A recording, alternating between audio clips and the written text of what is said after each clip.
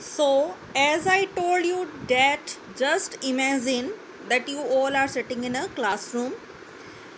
So, in that classroom, there is also air.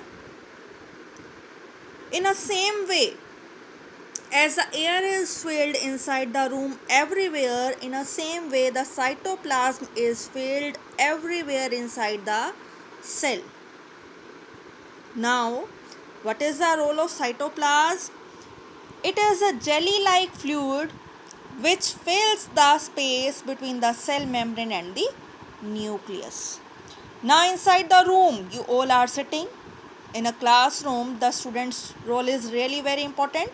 So as you are very important for a classroom in a school in a similar way in a cell organelles are very important for a cell so in cytoplasm what is there? It is having number of teeny structures which are present in the cytoplasm that is called the cell organelles. And we are having variety of cell organelles like we are having the mitochondria we are having the golgi bodies ribosomes er is endoplasmic reticulum lysosomes chloroplast vacuole these we will later on discuss def definitely.